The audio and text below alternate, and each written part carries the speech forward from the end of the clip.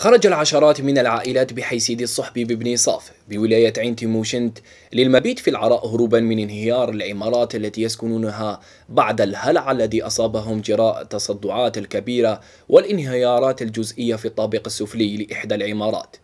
السكان رفقة أطفالهم طالبوا بتدخل السلطات المحلية وترحيلهم إلى سكنات أخرى خوفا من الموت تحت الرد. مراسلة كريم أبو النورين.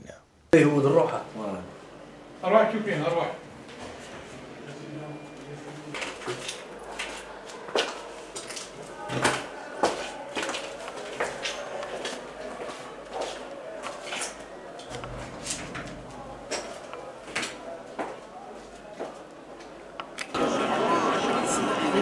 Thank you.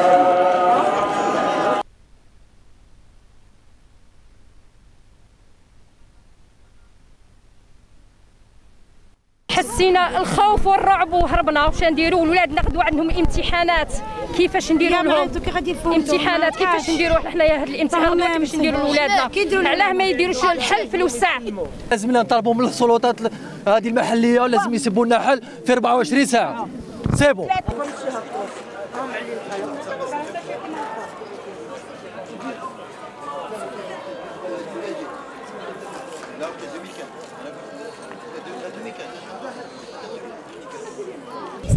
رئيس دائرة بني صاف اذا كما كنت نقول بالنسبة لهذه العمارة متكونة من 16 سكن.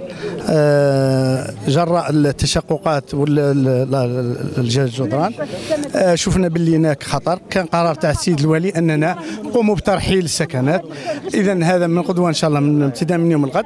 يستلموا المفاتيح نتاعهم وأيضا البلوك الزوج اللي باقي. نشوفوا أيضا هيئة المراقبه التقنيه CTC. إذا كان فيه أيضا خطر هي أيضا راح تكون فيه إجراءات الترحيل تاعها